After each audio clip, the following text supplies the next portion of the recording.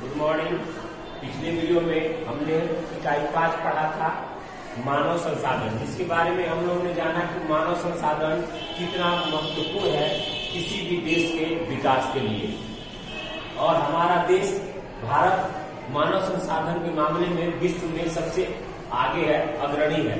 उसमें भी भारत में भी देखें तो बिहार जो राज्य है, वो मानव संसाधन के मामले में सबसे धनी है।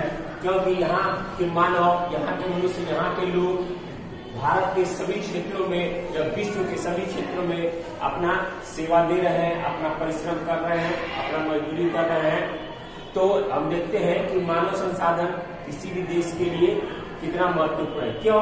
क्योंकि मानव संसाधन खुद एक संसाधन है, उसके बाद संसाधनों का उपयोग करने वाला है। या जो भी संसाधन मौजूद है, उसको तकनीक के आधार पर उपयोग करने लायक बनाने वाला है। और अगर कोई तकनीक की कमी है तो उस तकनीक का विकास भी मानव अपने दिमाग से करता है। यानी मशीनों के द्वारा निर्माण भी करता है।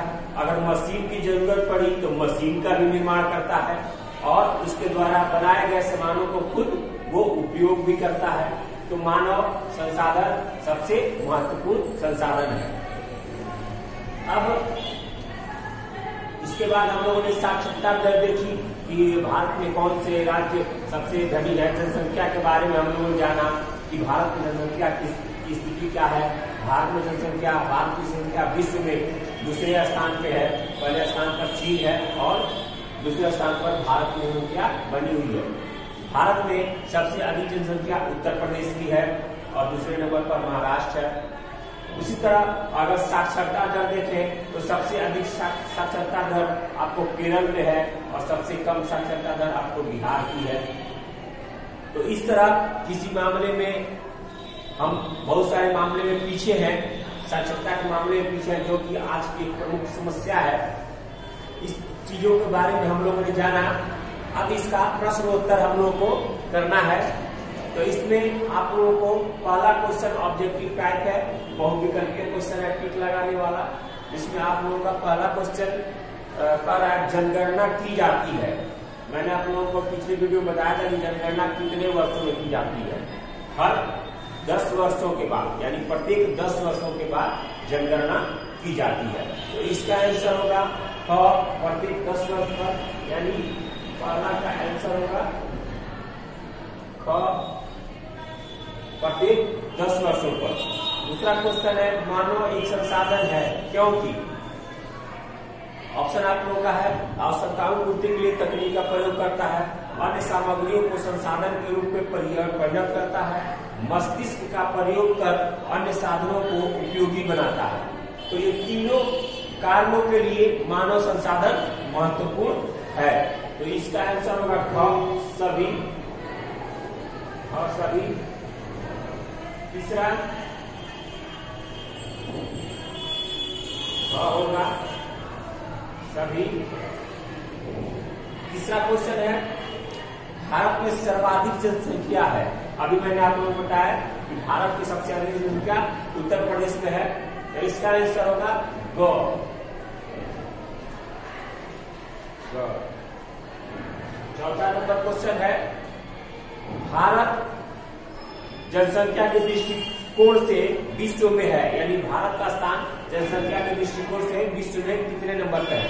मैंने इस क्वेश्चन का भी आंसर बताया कि भारत की जनसंख्या विश्व में दूसरे नंबर पे है। तो इसका आंसर होगा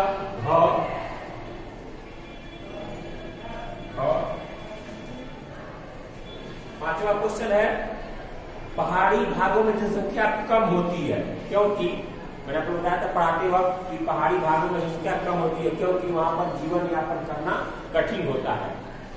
पहाड़ी इलाकों पर अत्यधिक बारिश, अत्यधिक हवाओं या वैस तरह की स्थिति नहीं बनती है, पर्यावरण असंतुलन रहता है, इसी कारण वहाँ रहना कठिन होता है, जबकि मैदानी भागों में वो सारी सुविधाएँ प्राप्त होती है पर्यावरण के द्वारा तो मैदानी इलाकों में ज़्यादा आपको जनसंख्या मिलती है। तो इसका आंसर होगा, ख जीवन यापन कठिन होता है।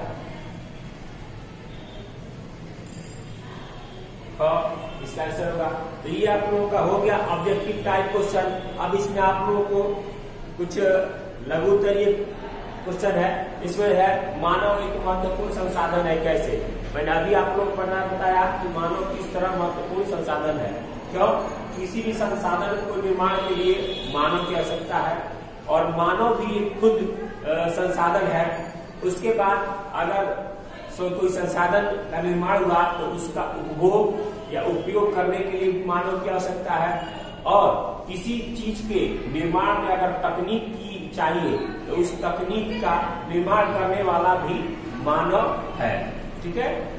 उसके बाद और है जनसंख्या विधि को प्रभावित करने वाले कौन कौन से कारक हैं? जनसंख्या परिवर्तन तीन कारणों का निर्भर करता है? तो ये सारी बातों को मैंने आप लोगों को पिछले वीडियो में बताया है। इस सारे क्वेश्चन को आप लोग पिछला वीडियो में देखकर इस क्वेश्चन का आंसर आप लोग दे सकते हैं, लिख सकते हैं। अगले वीडियो में हम अगला इकाई छ जो है एशिया उस चैप्टर को हम लोग शुरुआत करेंगे। वो चैप्टर आप लोग बढ़िया से पढ़ के ताकि आपको समझने में ज़्यादा आसानी होगी। अगले वीडियो में हम अगले चैप्टर के साथ मिलेंगे। धन्यवाद।